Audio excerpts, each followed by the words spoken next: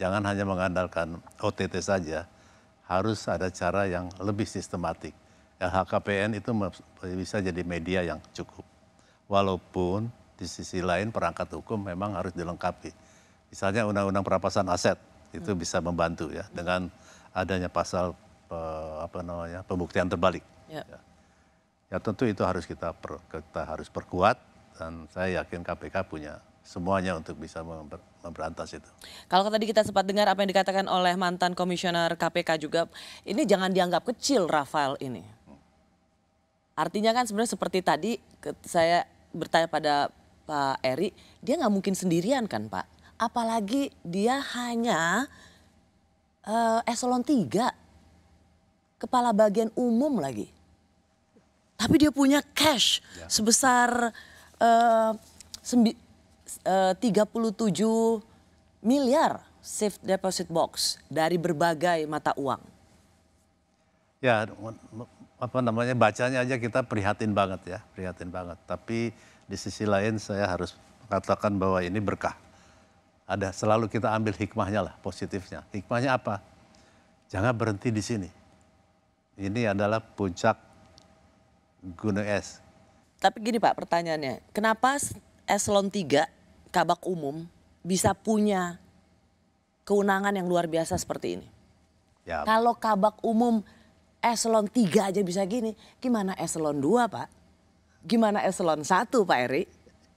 Ya, si Rafael ini mungkin dalam posisi kabak umumnya, dalam posisinya sekarang sebagai kabak umum, dia menjadi fasilitator. Ya, kewenangan-kewenangan yang dimiliki oleh rekan-rekannya, oleh jaringannya, oleh mentornya, itu yang dia fasilitasi kemudian disalurkan melalui AME itu, PT AME itu, konsultan pajak. Dan di situlah kemudian dia juga mengkonsolidasikan hasilnya sehingga ada uang sebesar 37 miliar dalam safe uh, safety uh, safe deposit uh, apa box uh, box itu. Hmm. Kalau tadi Pak Eri bilang mengkonsolidasikan, berarti mengkonsolidasikan secara internal juga dong? Iya, atau mungkin latar belakang sebelum menjadi kabak umum itu juga harus menjadi perhatian. Cukup lama ia menjadi ia bertugas di bidang penyidikan. Jadi dia kan penyidik pajak tuh. Ya ya ya, sesama penyidik pajak kan tersebar di mana-mana dan dia bisa fasilitasi untuk uh, sama-sama mengarahkan uh, wajib pajak pada konsultan yang disebutkan tadi. Hmm.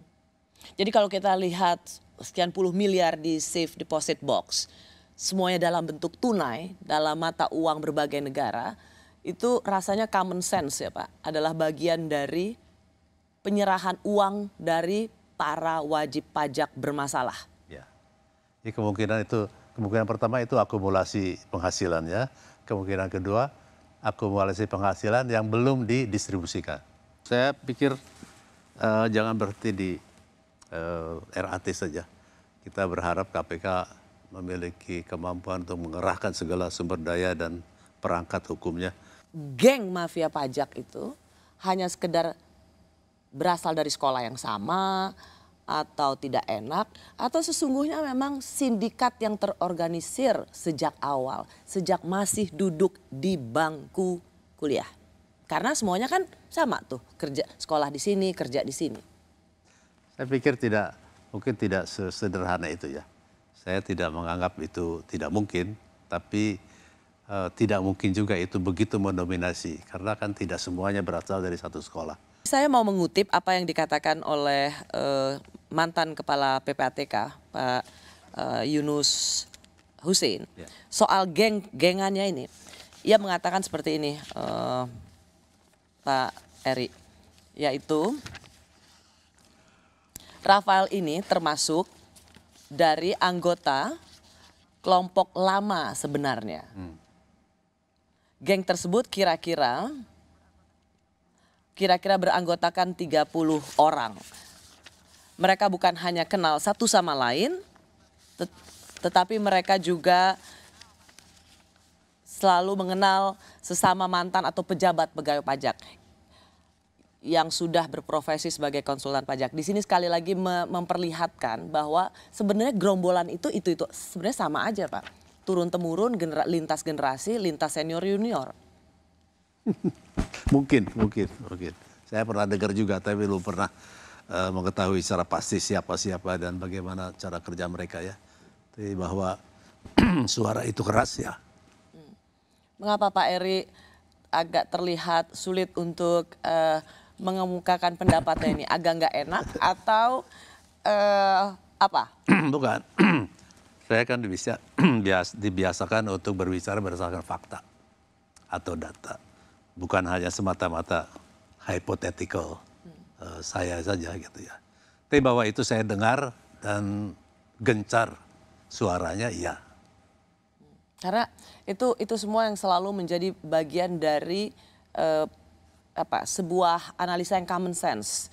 Oh, kalau kita tidak membersihkan atau kalau kita tidak mencari Rafael-Rafael lain dalam institusi pajak ini, kasihan tugas pajak yang baik Betul. itu akan selalu menjadi korban Betul.